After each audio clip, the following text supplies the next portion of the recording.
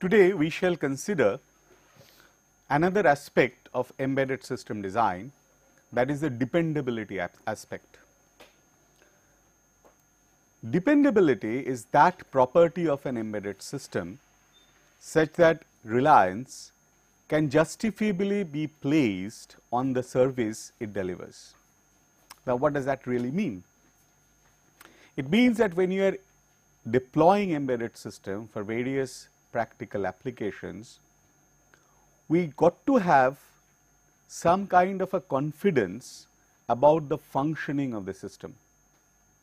We might have designed a very sophisticated system, but the system fails regularly. Then that system is violating the dependability characteristics.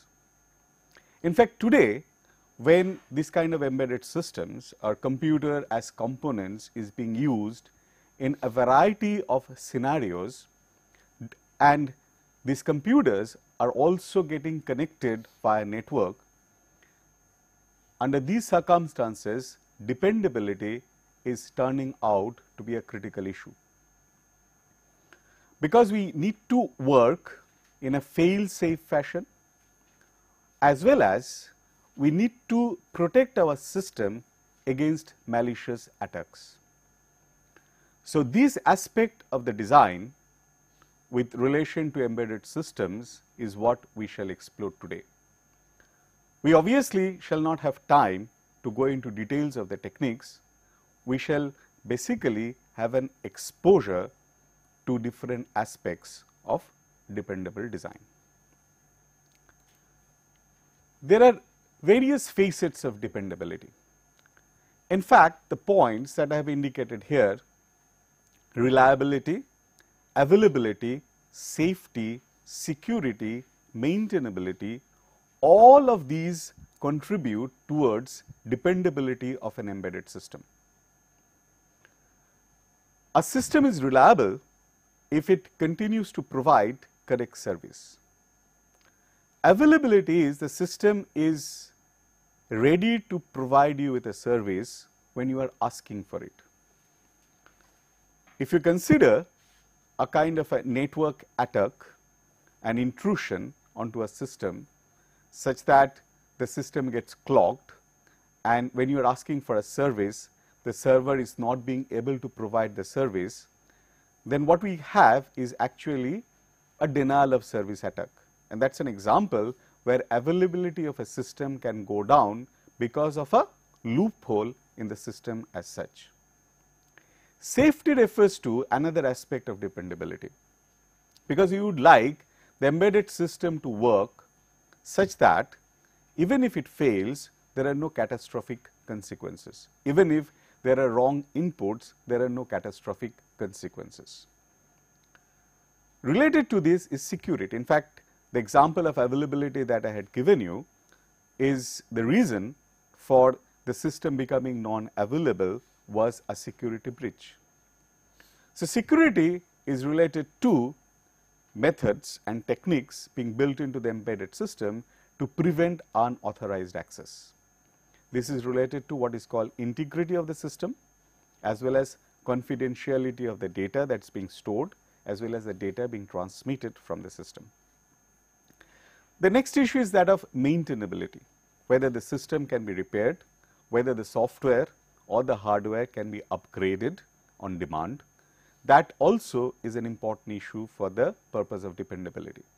Because if the system fails and if cannot be repaired easily, then the availability of the system goes down. Because a system may fail and if it has a mechanism to take care of the fault and restart its function within a short interval, then the system can remain available at a regular basis. So, availability of the system is much better when the system is maintainable. So, all these facets together defines dependability of a system. But depending on applications, these factors can play different role.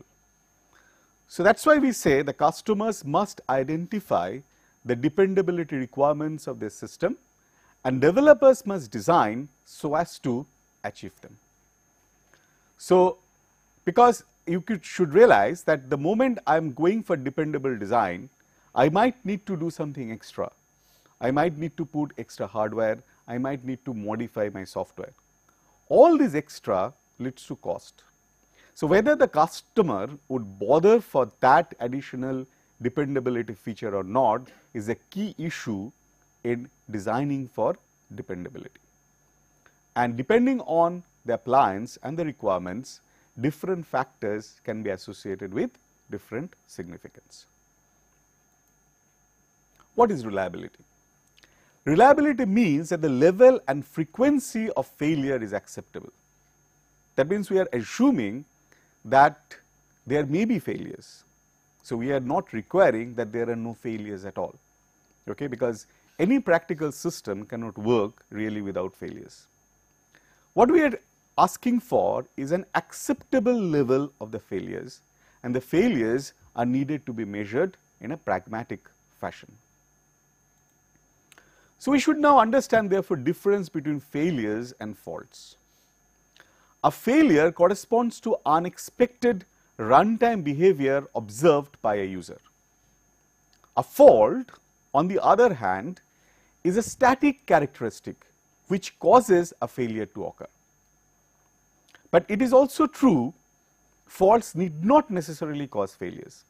Faults will cause failures only if the faulty part is used. This is true for software as well as for the hardware. Because there may be a bug in a software, but that part of the software is being rarely used. If, if that part is being rarely used, then that failure would rarely occur.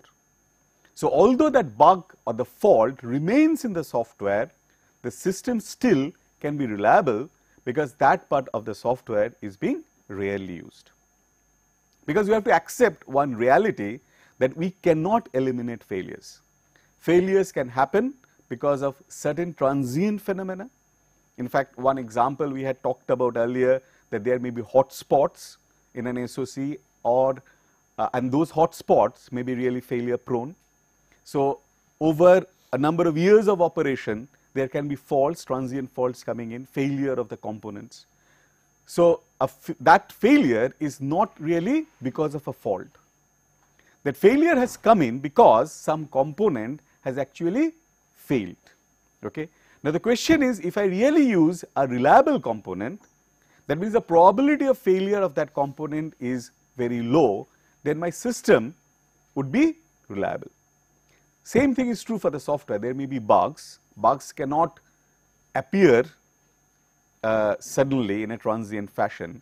Bugs will be there in the software because uh, bugs were there when the software is designed itself. And the testing process cannot always unearth all possible bugs. Okay? And if bugs remain in a rarely used part of the software, then that bug or the fault can lead to failure only when that part of the software is being used. And the other question is user may not always notice a failure because user does not know the specification of the system. There may be a failure because of non-compliance with the specification of the system. But if grossly the functional requirements are being met, the user may not be able to detect the failure because user does not know the specification. So, if the user does not detect a failure, in that case those failures can go completely unnoticed. Then let us look at the relationship between correctness and reliability. A system can be correct, but unreliable. Now, this can result from incorrect specification. How can it come? Because when I am providing the specification, my specification can be incomplete in the sense that it provides the functional requirements for the normal operational scenario. There may be some exceptions and those exceptions might not have been covered by the specification. Therefore, when I write my software or design my hardware, I have taken care of the basic requirement and the system is correct with respect to the basic requirement. but the system has not taken care of some of the exceptional situations. And when those exceptional situations arise, the system fail. Okay? So, the system actually satisfies a specification, the system is correct. But since the system fail under exceptional conditions and those exceptional conditions are not rare, that is why the system can be unreliable. The system can be reliable, but incorrect. So, it is an example of a software can result from a program that does not exactly meet its specification, but which works well, well enough. That means, it does not really have a bug, but it does not satisfy the functional requirements completely. So, in that case the system can be reliable, but not correct. So, in fact, what we are looking for is a correct as well as a reliable system. So, reliability in a way is a main concern and correctness is a means to this end. Why? Because the moment I can provide a proper specification and if I write my software or if I design my hardware meeting completely the specification, I am getting the correct system. If I have got the correct system, if my specification is complete enough, then I have the ability to take care of exceptional situations which would increase the reliability of the system. But we have to keep in mind that whatever exhaustive testing I do, there is a limitation in time. I cannot possibly take care of all possible combinations to provide that as a test data to the system to verify whether it works properly under all possible inputs. So, there may be bugs there already in the system. Okay. So, my basic point is that I may design a system meeting the specifications.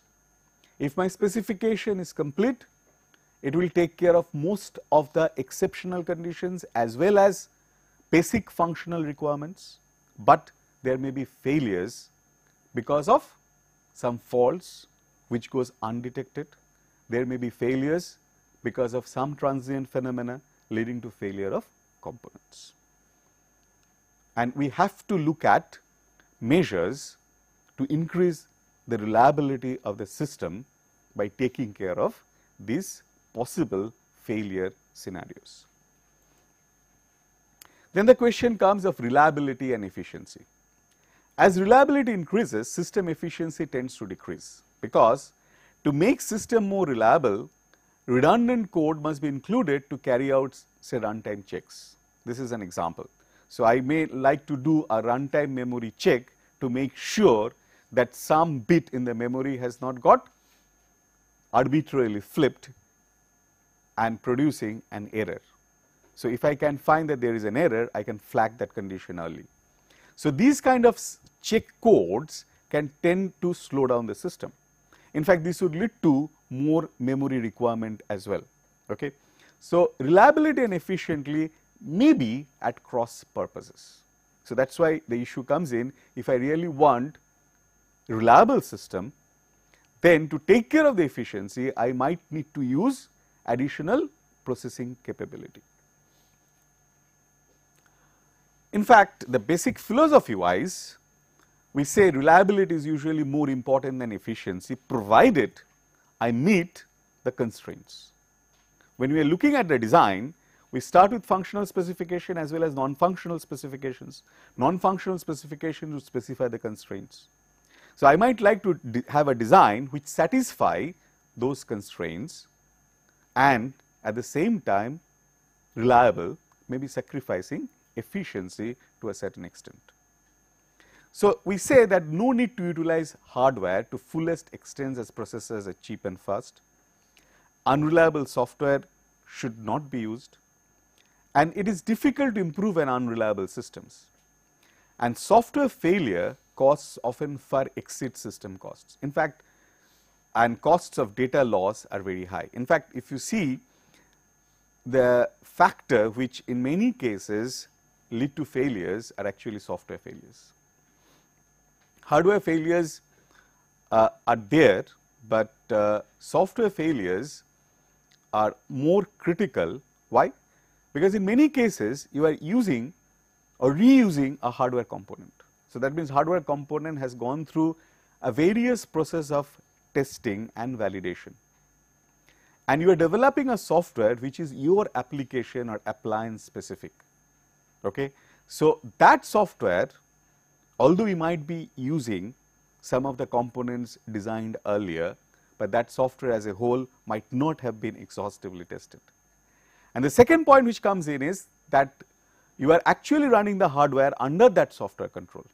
The hardware itself may be reliable, but under the software control it may lead to some kind of failures. Okay. So, software failure becomes a very critical component and we would not like to obviously have a data loss because cost of data loss is high. What are the failure consequences? Reliability measurements do not take the consequences of failure into account. Okay.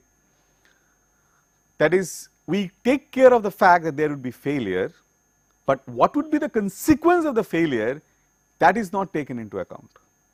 That means, if there is a failure of an fly-by-wire system in an aircraft, the cost of the failure is loss of human lives.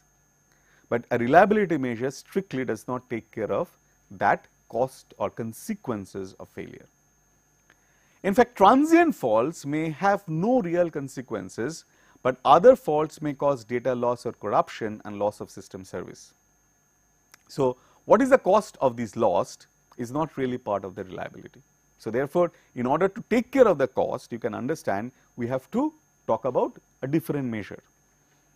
And it is necessary to identify different failure classes and use different measurements for each of these if we are talking about the reliability measures.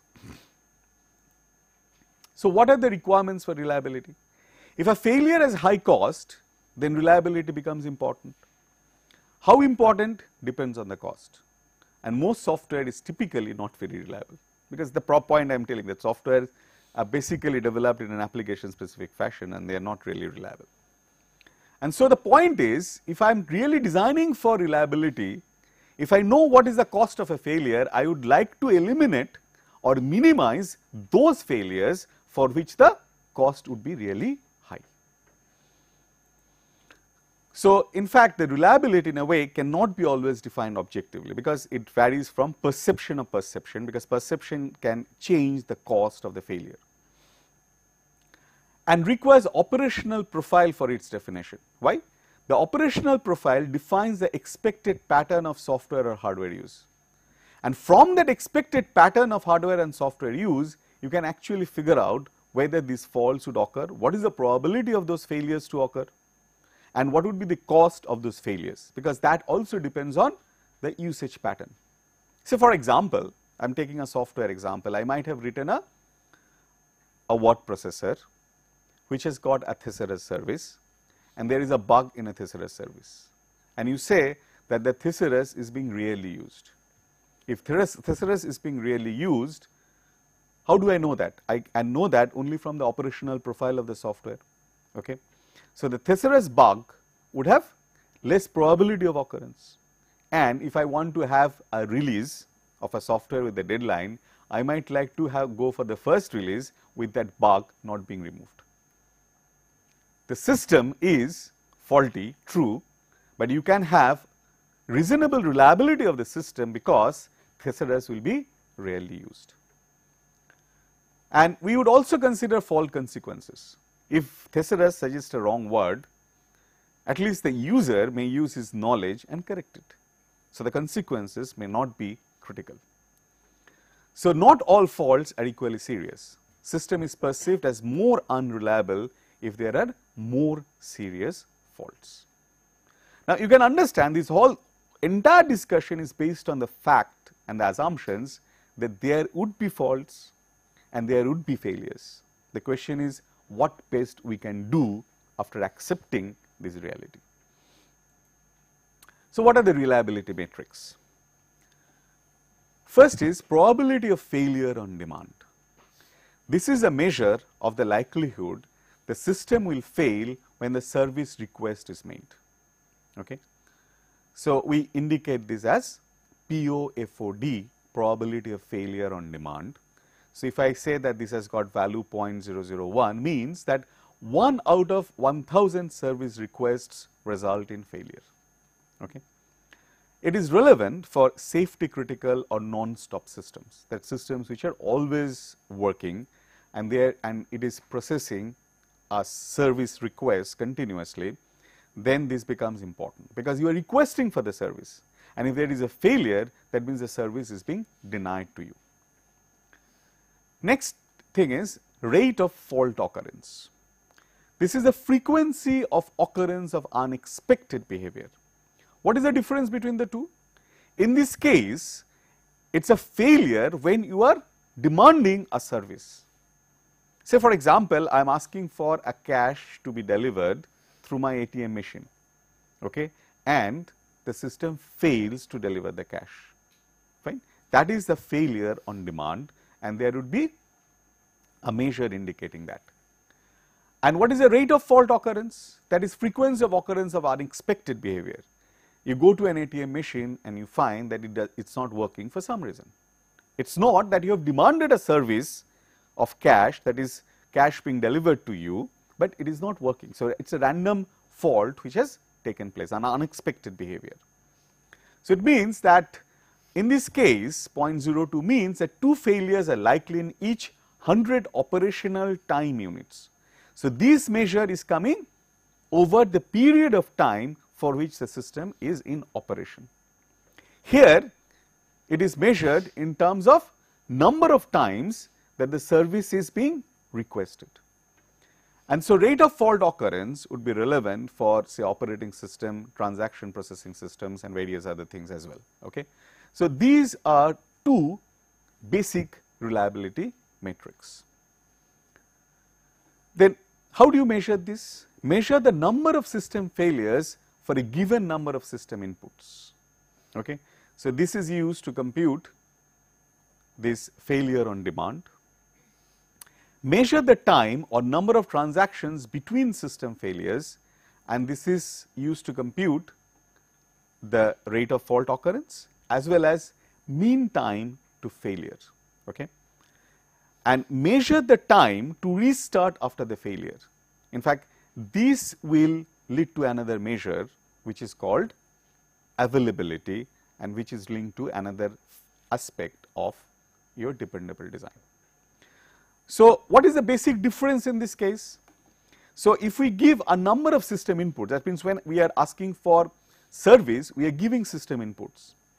Given the system input whether the system is able to provide the service that is exactly used to measure this fine. And here you measure the time between the system failures. System has failed today and I have observed the next failure after 3 days, then what is the time between the system failures? Okay, and that is used for measuring these parameters. Now, obviously, these measurements if are to be obtained, this has to be obtained at a validation or a testing phase as well as these informations are provided from field data. That is once you have deployed the system from the field data you get this information. Once you get this information then you may think of improving the design at a later version so that you get a better reliability. There can be various time units which are used in reliability measurements. So, and we say that time units have to be carefully selected. It can be raw executions time, for non-stop systems. It can be calendar time for systems which have a regular usage pattern, example systems which are always run once per day. The number of transactions for systems which are used on demand. So, all these could be used as measure of time, because time becomes a critical parameter to use for computing reliability of a system. So, formally how do we define reliability? probability that the system will operate correctly in a specified operating environment up until time t. So, this is what is your reliability t. Okay. So, what it says probability that the system will operate correctly in a specified operating environment up until time t. Okay. So, system is up working properly up till time t. What is the probability of that? So, if I have measurements available from at different installations, if I am using the field data, using that installation data, I can make an assessment of the reliability. If I have put to validation testing a number of these systems that I have designed, from there also I can compute this probability. And this probability would be more in terms of relative frequency interpretation of probability and not really subjective interpretation of probability. And what is the mean time to failure? It will be the expected value of reliability measure that we have already defined. So, it is an expected value of this probability. Okay. In fact, it is important to note T. Okay. So, what we say that if a system only needs to operate for 10 hours at a time, then that is the reliability target. We would like to see what is the probability the system will not fail if we keep the system running at a stretch for 10 hours. Okay. So, the T now becomes 10 because it is no point trying to work it out for 365 days because after running for 10 hours system will be put to off and again booted up and expected to run continuously for 10 hours. Related to this is the concept of what is called recoverability. Probability that the system will operate correctly at time t after a failure. Okay. Please try to distinguish between the reliability T and recoverability T. Recoverability is probability the system will operate correctly at time T after a failure. Okay. And these can be used to compute what is called mean time to repair. And the mean time to repair is expected value of this recoverability. Okay. That means there is a failure and after the failure you can repair the system and and it will operate correctly. Okay. So, obviously, if a system is not maintainable, then you cannot have good recoverability measure. Obviously, since we are talking about recoverability, we come to what is called availability. Availability is the probability the system will be operational at time t. Please try to distinguish between recoverability and availability. In recoverability, we are telling that probability that the system will work correctly after a failure at time t. And availability is probability the system will be operational at time t. And in fact, you can contrast this with the concept of reliability t also. Reliability is reliability t is what? The probability that the system works correctly for time t. This is what we are telling probability that the system will be operational at time t irrespective of what has happened in the past. This is something very, very important. The distinction between reliability, recoverability and availability. So, the expected value of uh, availability is given by this mean time to failure divided by mean time to failure plus the mean time to repair. Literally therefore, availability indicates the readiness for service. Okay?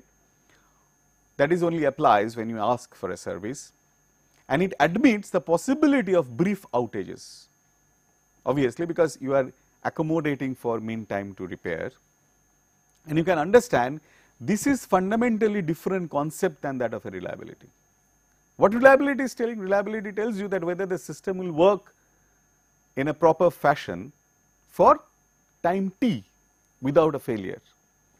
Here what we are looking at whether the system is available, that the system is operational at time t, whatever has happened in the past.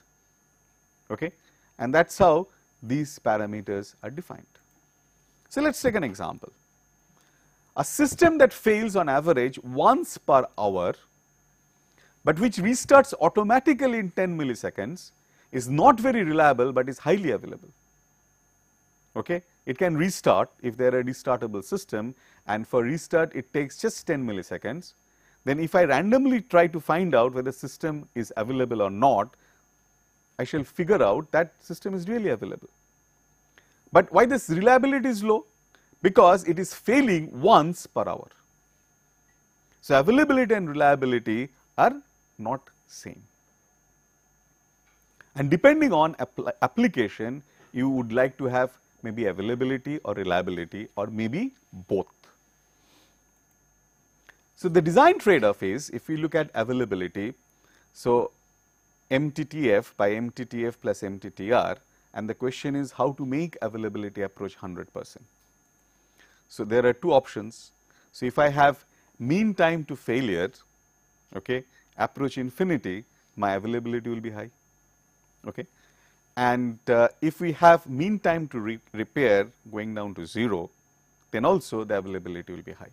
So, in this case when it, it, it reduces, we accept the fact that there will be failures or outages, but from outages system will recover very fast and that is why the availability will be high. On the other hand, we are designing a system to be in such a way that the failure probabilities are very low. Okay. Obviously, related to this is a concept of maintainability, the ability of the system to undergo repairs and modifications. So, if it is a maintainable, then you can realize that availability will also increase, because that means after a failure, the system can be repaired very fast. So, we have got the concept of maintenance, evolution, composition and manageability. Evolution in the sense that if there are upgrades and modifications, so I can use that to evolve or make the system better. Composition is whether you can add on a feature, add on a hardware component or a software component and whether you can manage the overall system. So, for example, if I have a battery powered device and I really can have the battery state measured and communicate over a network to a service station, then what I am having? I am having a better manageability of the system because I can replace the battery before the total outage takes place. Next question is that for a given system, how do you specify the reliability? So, we have understood the basic facets so, let us see how this specification can be done. Reliability requirements are only rarely expressed in a quantitative verifiable way, but we need to specify them. To verify reliability metrics, an operational profile must be specified as part of the test plan. And reliability is dynamic, reliability specifications related to the source code are meaningless, because this is why it is meaningless, because you have to look at the reliability of the code in the context of the hardware on which it is running. Okay. It cannot be specified independent of the complete hardware, because we are talking about now the reliability of the system as a whole in a dynamic work environment. And these reliability specifications can come from or is specified with respect to different failure classes. What are the different failure classes? transient occurs only with certain inputs and it can change. Permanent occurs with all inputs. Then recoverable, system can recover without operator intervention, unrecoverable, operator intervention needed to recover from failure. Then there can be non-corrupting, failure does not corrupt system state or data and corrupting, failure corrupt system state or data. Okay. Now, these are the different failure classes and if you are talking about a reliability specification, you might like to specify reliability specification with respect to failures belonging to these different classes depending on the appliance that you are considering. So, for each subsystem analyze consequences of possible system failures. From the system failure analysis partition failures into appropriate classes. For each failure class identified, set out the reliability metric using an appropriate metric. Different metrics may be used for different reliability requirements. So, this is the whole process of specifying reliability with respect to a design. We have looked at what? We have looked at so far functional requirements, non-functional requirements. Now, we are looking at reliability specification for the purpose of designing a dependable system, a reliable system. Take an example, how do you specify that? It is a bank auto teller system. So, each machine is in a network is used say 300 times a day. Bank has 1000 machines. Lifetime of software release is 2 years that is every 2 years software gets upgraded. Each machine handles about 200,000 transactions and about 300,000 database transactions in total per day. Now, we are considering what the overall system, I have got ATM machines, ATM machines connected via network. Okay. Now, obviously, I cannot talk about reliability of a single ATM machine without considering the network with which it is connected. Because a failure is not only because of the failure of the system, but failure of the server as well as network communication. So, that is why when we are talking about reliability specification of bank auto teller system, we have to take the whole system perspective in mind and specify them. So, what are the different failure classes you are likely to encounter? One is a permanent non-corrupting. Here the system fails to operate with any card which is input. Okay? Software must be restarted to correct failure. That means it does not work with any input. So, this is a kind, it is not a transient failure, it is a permanent failure and a permanent failure can be non-corrupting. Okay? That means the data is not destroyed because data is stored at, at maybe a server, data is not destroyed but ATM machine does not work. And what is the reliability metric? So, you will be specify this ROCOF okay, which is related to the failures and not related to transactions. So, one occurrence per 1000 days this could be a specification. Then there could be transient non-corrupting failures. The magnetic strip data cannot be read on an undamaged card which is input. Okay? Fine. So, these error can come when you are actually putting the card and asking for a transaction. So, the measure which is being used is POFOD that is on demand service failure. So, 1 in 1000 transactions and this may be a transient again a non-corrupting fault. And transient corrupting there can be these failures a pattern of transactions across the network causes database corruption. This is a dangerous kind of a fault, okay, a pattern of transactions which is taking place. So, this error cannot be unquantified. So, I say unquantifiable should never happen in the lifetime of the system. Because what does therefore it means that once you have that specification, it means that your system must be tested and the software as well as hardware measures should be in place to eliminate this error completely, okay, which is not strictly true for other two cases because the consequence of this failure is not catastrophic. Okay. But obviously, you wouldn't like won't like your this failure to occur 5 times each day. Okay. So, then your customers will run away from the bank. So, there that is why I need to have proper reliability metrics specified for this case. So, how do you approach reliability? Use reliable tools, use reliable hardware, program carefully and test thoroughly. Now, testing in terms of uh, say software or hardware would have slightly different implications when we are really looking at reliability. When we had discussed testing in the last class, we just concentrated on functional testing, whether it is meeting the functional requirements, and also we had talked about some of the performance measures.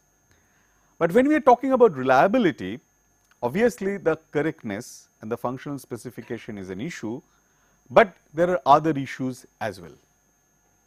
We say that reliability improvement, how it can happen in a software, because we have found that software is a critical component for a reliability failure in many cases. We say that reliability is improved when software faults which occur in most frequently used parts of the software are removed. Okay.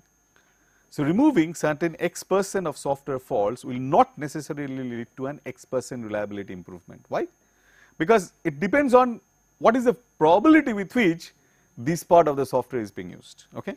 So, it is found that in a study removing 60 percent of the software defects actually led to only 3 percent of reliability improvement, because there are still bugs in the software which are part of the commonly used components and therefore, removing faults with serious consequences is the most important objective for this test purpose.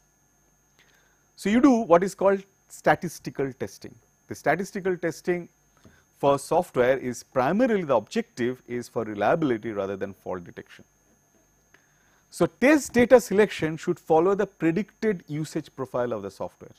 I gave an example of your uh, word processor program. So, there is a certain usage profile which says that thesaurus will be less used. So, you try to have in therefore more test data corresponding to the more widely used aspects of the software. And measuring the number of errors allow the reliability of software to be predicted. An acceptable level of reliability should be specified and the software tested and amended until that level of reliability is reached.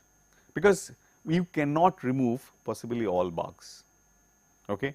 And depending on the user profile, you have a test data selection and with respect to the test data, try to figure out what is the kind of errors you are really encountering, whether that is acceptable or not. So, therefore, what is the statistical testing procedure? Determine the operational profile of the software. In fact, how do you characterize operational profile of the software? If you remember in the last class, we said in a clear box testing, there would be various paths in the software which needed to be tested. Now, paths would be associated with different probabilities depending on the usage profile of the software. So, depending on the probability, I shall select the test data to test out the system. So, apply test measuring amount of execution time between each failure.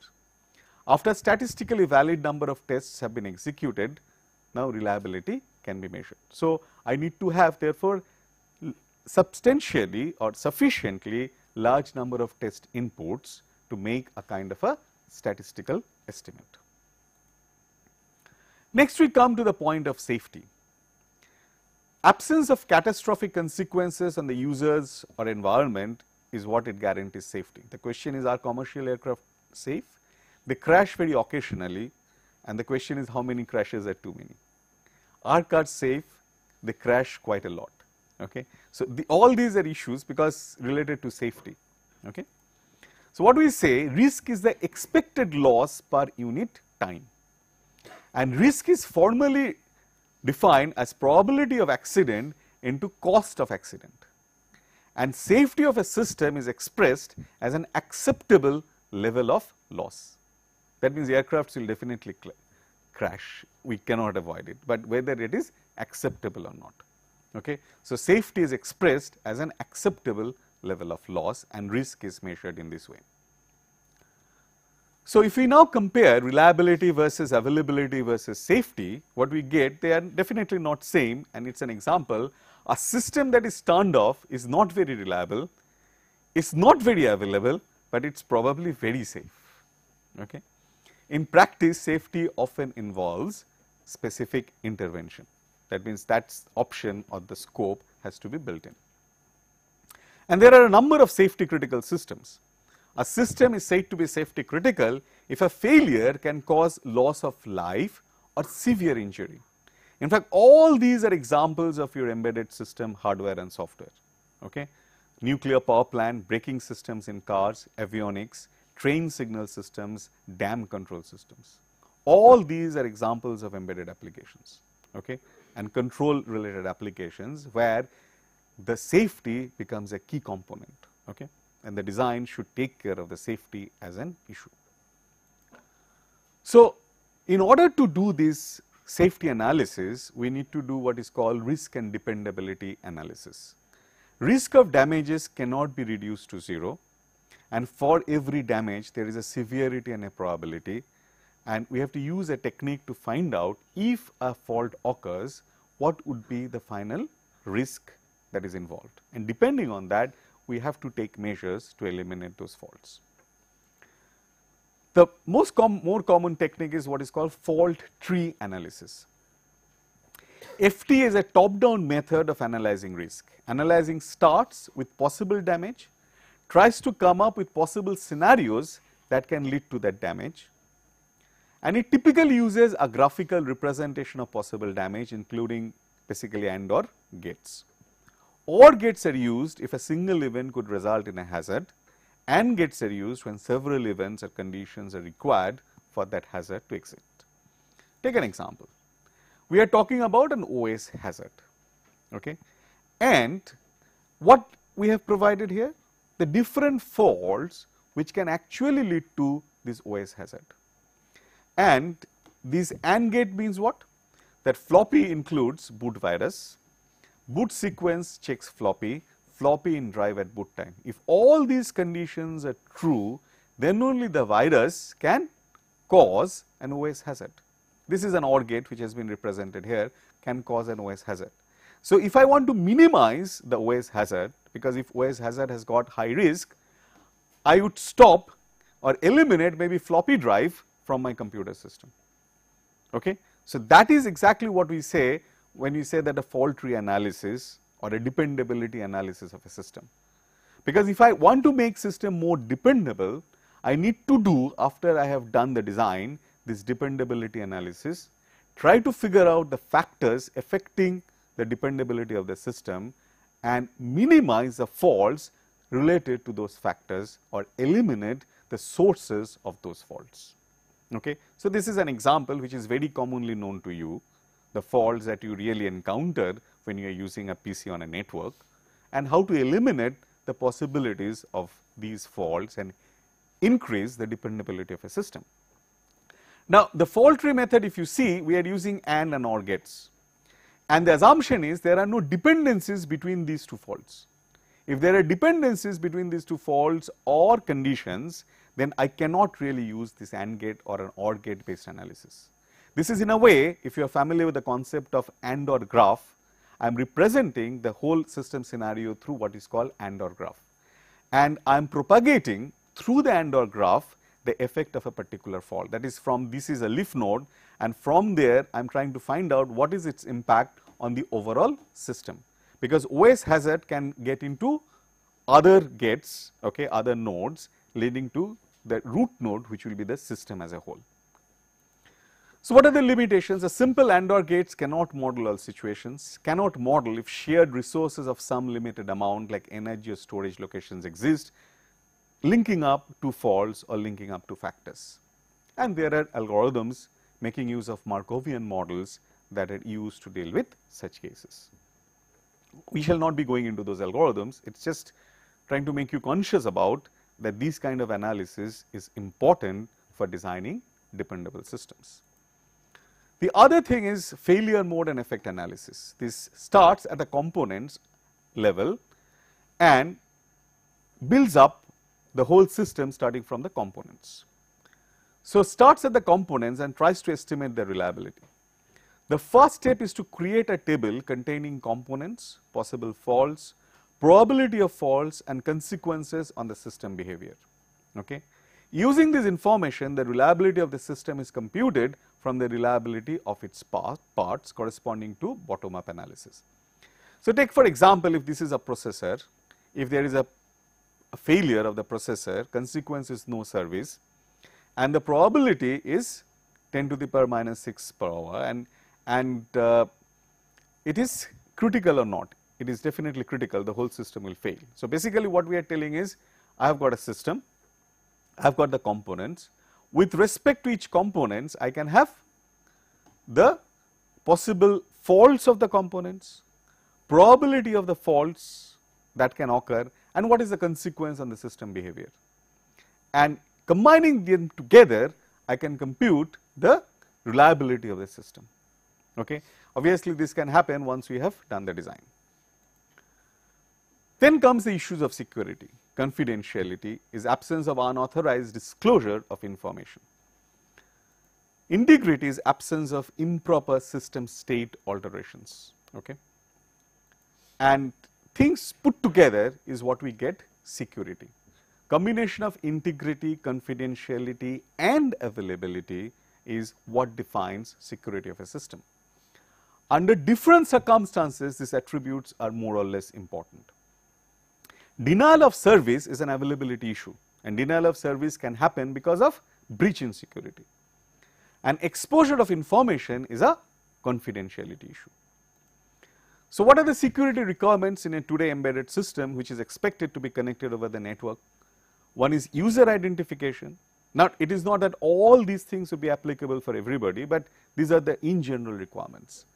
user identification, secure network access, service access if authorized, secure communication, confidentiality and integrity of the communicated data, then storage, the data stored should not be uh, disturbed, then question of content security, that is usage restrictions of digital content stored. Question is availability, can perform its intended function and service legitimate users at all times. So, all these are different aspects of security requirements. Okay. Network access, communication, storage, content security that is the data which is currently stored as well as the availability. Let us take an example of a cell phone which is an embedded system. Now, there are variety of requirements. From end user's perspective, you would like privacy and integrity of personal data. You would like that no fraudulent calls and transactions are made, okay? And you would like the secure execution of downloaded software. You should not have a cell phone virus disturbing the whole system. Then from a content provider, content security and digital rights management. So, it is not that you should download a picture, modify the picture and start selling that picture as a backdrop in a cell phone screen. Then application service provider should provide secure end to end communications. Service provider should provide secure network access. Handset manufacturers should, should have its software and firmware secured against copying that is intellectual property protection. So, these are security requirements and security requirements coming at multiple levels and that is what is to be appreciated because it is just not with respect to the device alone, it is with respect to the different services that is being the device used for. So, what are the challenges? Because computational demands for security processing are substantial, because if you are actually to implement any kind of coding scheme, computational requirements will be high, your energy consumptions will be high and there is a need for flexibility, because if you see there are security requirements at multiple levels at a service provider levels, at manufacturers level, at, at the level of actually user, end user. So, at various levels there is a necessity for security and there is a need for therefore flexibility in the security algorithms being implemented in embedded systems. And it should be also tamper resistance, protection against attacks of malicious software. So, what it implies? It implies that since you are using limited processing power and limited battery, you need to develop special architectures for these kind of security requirements. So, there are a variety of architecture options. First generation architecture is you implement the security algorithm on the basic embedded processor itself. It is flexible, but less efficient. Second generation is offload crypto function to crypto hardware. Crypto, crypto function is basically for encoding the data, securing the data. So, here you, you start using spatial hardware. It is high efficiency, but poor flexibility okay, because you can use hardware with dedicated crypto algorithm. The other option is you offload to programmable engines, high efficiency, high flexibility and first turnaround time. That means you may have an FPGA kind of a thing implementing the crypto algorithm. So, that gives you flexibility. That gives you something else as well.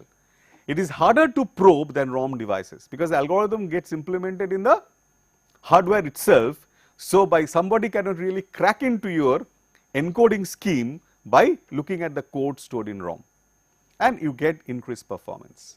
And also there are cryptographic co-processors which has come in from a variety of vendors. In fact, OMAP also has got a version with cryptographic hardware built into the system to provide this kind of security to appliances like cell phone. The last feature that we shall look at is fault tolerance because fault tolerance also increases reliability by including redundancies.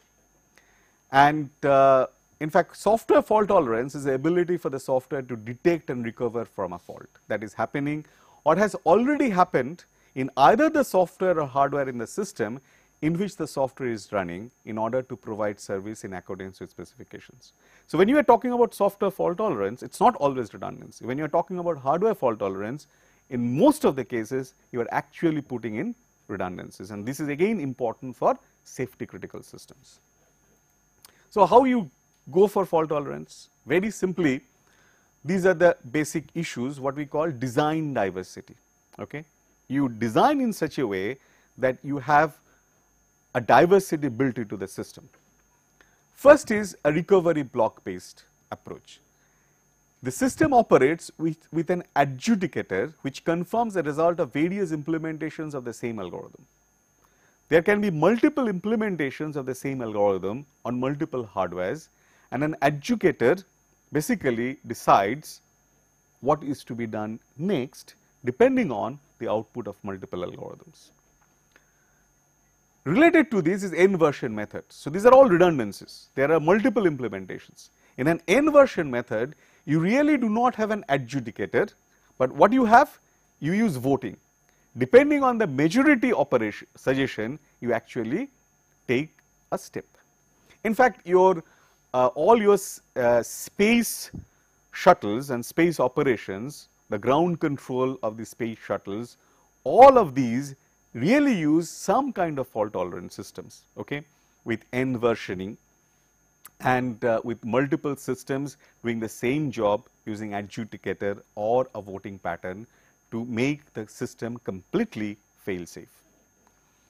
There is also you can use self checking software, self checking software have extra checks often including some amount of checkpointing and rollback recovery methods. If it detects that there is a failure, it would roll back certain actions. Okay, so that means it keeps track of what it is doing, and that is to make the system fault tolerant on a safety critical system. So it would it will it has the ability to roll back.